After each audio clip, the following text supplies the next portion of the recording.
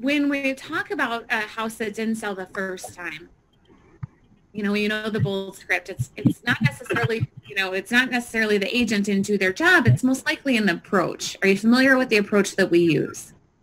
And you can say that in the middle of a listing presentation to help separate the two ideas that potentially your agent did a great job, but it they didn't get it sold. And so let's talk about the approaches that we use to help get it sold. And when we're when the market's rejecting it, it's usually because of price. Can we all agree on that?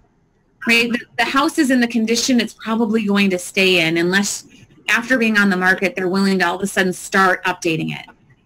Right? And, and fixing some of those things. So it's about helping them understand that even though the market the market is the one that re- determines the price you know i'm here to interpret it right you're going to hear a lot of bold scripts from me you know i'm just here mr seller to help you interpret the market the buyers ultimately determine the price they're willing to pay i would much rather have you receive an offer and reject it than to never receive one at all right right? That's a great script. If you don't say that right now, that one can be used over and over. Price reductions, listings, you know, anytime they aren't sure on the price, remind them that if they get a low offer, they don't have to take it.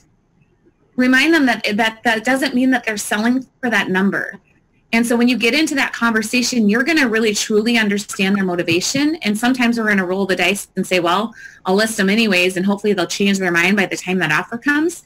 And if they don't, that's on us, right? Right. And so it's tough to know, but when we're talking with sellers right now, with the shift coming, we have a lot of ammunition that our market is adjusting. Um, Olga called me. Right?